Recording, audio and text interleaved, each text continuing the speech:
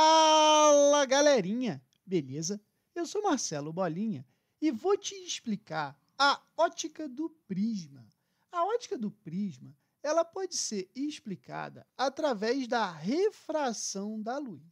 Então eu botei uma sequência aqui uh, que pode te explicar o seguinte: olha só.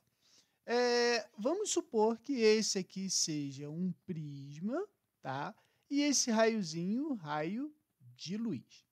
Bom, se a, a gente considerar aqui como ar e aqui como vidro, né? vamos considerar que o prisma todo seja feito de vidro, ao incidir nessa face da superfície de vidro, né, a gente vem aqui e constrói a reta normal. Eu vou chamar de reta normal 1, porque essa aqui é a face 1, aquela ali vai ser a face 2, que a gente vai chamar. E aí o que, que acontece? Quando o, o raio de luz toca a superfície, a gente tem o ângulo de incidência, que eu vou chamar de I1, formado com a reta normal, que é perpendicular à superfície do prisma, tá? A face do prisma. Bom, o que, que vai acontecer? Como o índice de refração do vidro é maior que o índice de refração do ar, a tendência do feixe de luz é se aproximar da normal. Então, ele dá uma aproximada da normal. Então, esse aqui seria o meu ângulo I1, essa aqui é a minha normal, e esse aqui a refração. Beleza?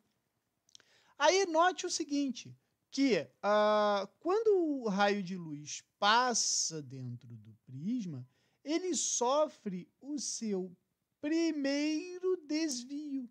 Né? Eu vou chamar esse cara aqui de desvio 1. Depois a gente vai usar esse desvio aqui.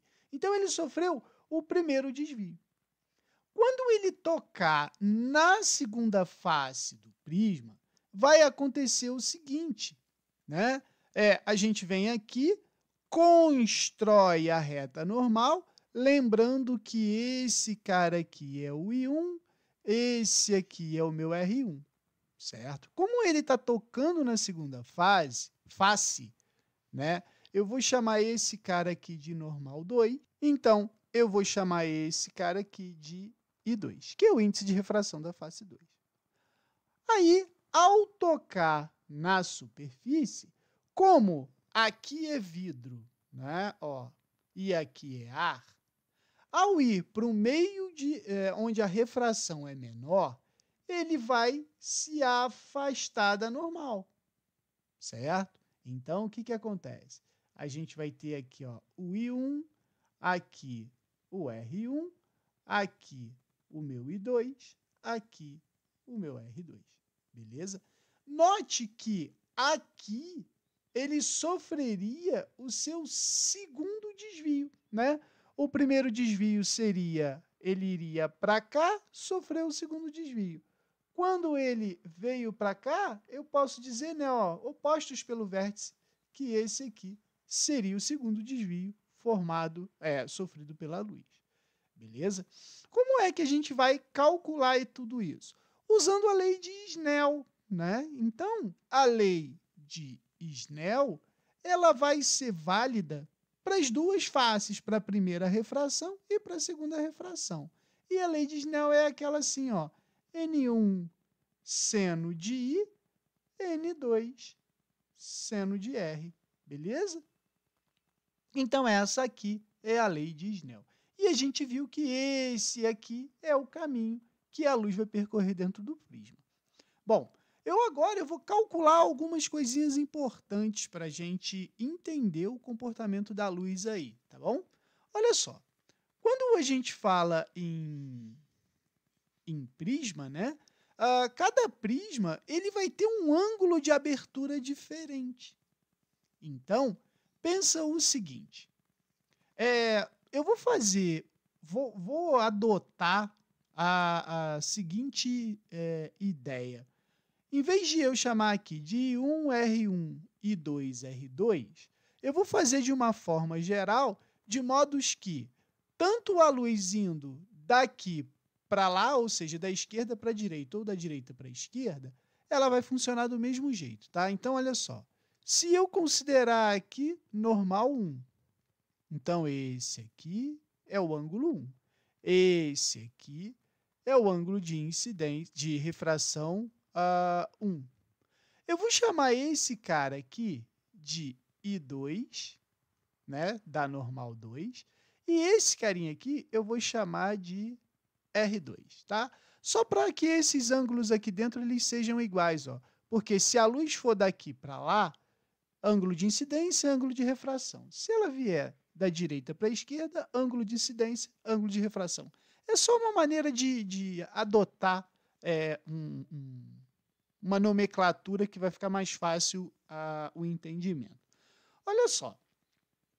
Se esse ângulo aqui é um ângulo de abertura do prisma, eu posso dizer o seguinte, ó. Aqui eu tenho um triângulo é, formado, não tenho? Eu posso dizer que esse ângulo aqui é um ângulo x e esse aqui é um ângulo y. Entendeu? Então, se eu falar para você o seguinte, a gente não sabe que a normal é igual a, a normal ela é perpendicular à superfície, a normal não é perpendicular à superfície. Então, vê se eu posso dizer o seguinte, olha só, que uh, x mais uh, R1 é igual a 90 graus. Posso, não posso? Ó. Se esse é 90, esse ângulo aqui também é 90. Então, x mais R1 é igual a 90 graus. Então, eu posso dizer que x é igual a 90 menos R1. Agora, a mesma coisa eu vou fazer do outro lado. Olha só. Eu sei que y mais R2 é igual a 90 graus. Então, eu sei que y é igual a 90 menos R2. Beleza? Agora, olha só. A gente não tem um triângulo aqui e a gente não sabe que a soma dos ângulos internos de um triângulo tem que dar 180. Então, eu posso afirmar que A mais X mais Y vai ser igual a 180, não é? Esse ângulo mais esse mais esse, 180.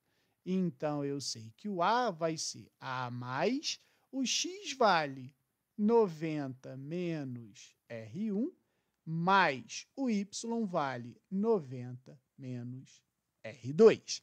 Então, o aumento mais 180, 90 mais 90, é igual a menos R1 mais R2, tudo isso igual a 180. Note que eu tenho 180 aqui e 180 aqui. Eles vão simplificar. E aí eu sei que o ângulo de abertura vai ser igual. Vou passar para o lado de lá, né? Vai ficar R1 mais R2. Então, o ângulo de abertura do prisma ele vai ser igual a R1 mais R2. Beleza? Esse é o ângulo de abertura. Agora, qual é o desvio sofrido pela luz? O desvio sofrido pela luz foi aquilo que a gente falou lá em cima, né? O que, que acontece? Essa luz aqui, né, ela sofreu o primeiro desvio, né? O caminho dela seria esse. Ela iria embora aqui. Então a gente pode dizer o seguinte, que o desvio que a luz vai sofrer é exatamente esse pedaço todo aqui, que eu vou chamar de D. Né? Então, olha, a gente viu lá em cima, né, que esse cara aqui foi o primeiro desvio, que eu chamei de D1. E o segundo desvio foi exatamente esse aqui, ó. Né, ó. O segundo desvio foi esse aqui, que a gente chamou de D2 e ele está aqui dentro, ó. D2. Certo? E aí eu posso dizer que o desvio da luz é igual ao desvio 1 mais o desvio 2. Isso tudo foi o que a luz desviou. Agora, note o seguinte. A gente não chamou que esse cara aqui de I1 e esse cara aqui de I2. Então, veja bem, vê se eu posso uh, falar o seguinte. Uh, tá vendo é, essa reta normal? A reta normal aqui, ela vai, vai ser perpendicular a essa superfície. Então, vê se eu posso fazer o seguinte. Ó. Aqui seria a minha face do prisma e essa aqui seria a minha reta normal. Então, o que, que aconteceu? O raio de luz veio aqui, né, ó, ele veio aqui, formou esse ângulo I e ele uh, foi para lá. Né? Ó, tá vendo? Esse aqui seria o caminho que ele seguiria. Ó. Aí o que, que a gente sabe? Que esse ângulo aqui é o D1 e que esse ângulo aqui é o ângulo de refração. Mas note o seguinte, esse ângulo aqui, ele é oposto pelo vértice por esse ângulo aqui. Tá vendo?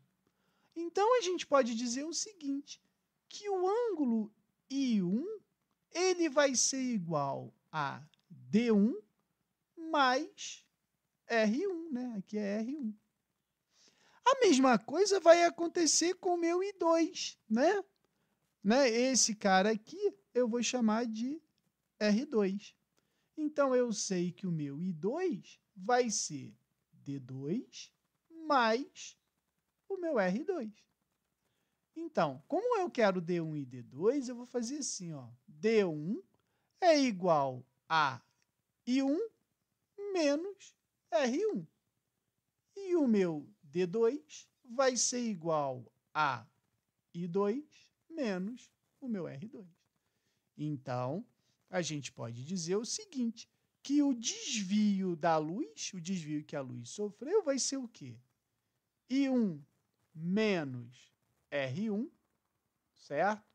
Mais I2 menos R2. O desvio, então, vai ser o quê? Ah, I1 mais I2 menos R1 mais R2. Note que a gente não calculou aqui em cima que o A é igual a R1 mais R2? Então, a gente sabe que o desvio vai ser o quê? I1 mais I2 menos A. Então, essa aqui é a relação que vai te dar o desvio da luz no prisma, certo? Agora, uh, nas questões, normalmente ele pede o desvio mínimo sofrido pela luz. Então, o que, que você vai fazer? Para o desvio mínimo sofrido pela luz acontecer, a gente tem a condição de que o ângulo I1 tem que ser igual ao ângulo I2 e o ângulo R1 tem que ser igual ao ângulo R2. Então, se eu pegar essa equação aqui e substituir assim, ó, desvio mínimo, né? Vai ser igual. Ela não é I1 mais I2 menos R1 mais R2. Se o, eles são iguais, né? Eu posso dizer então que eles são iguais a I e iguais a R. Então, o meu desvio mínimo vai ser I mais I menos R mais R. Certo? Então, meu desvio mínimo ele vai ser igual a 2i menos 2r. Certo? Mas como a gente sabe que o A é igual a R1 mais R2, eu posso falar para você o seguinte, ó. Se o A não é igual a R1 mais R2 e os R's são iguais, então o A vai ser igual a quem? A 2R's. Então, a equação para o desvio mínimo ela vai ser igual a duas vezes o ângulo menos o ângulo A. Beleza? Então, é isso que a gente pode ter no na ótica do prisma, beleza? Qualquer dúvida, deixe nos comentários que eu te respondo.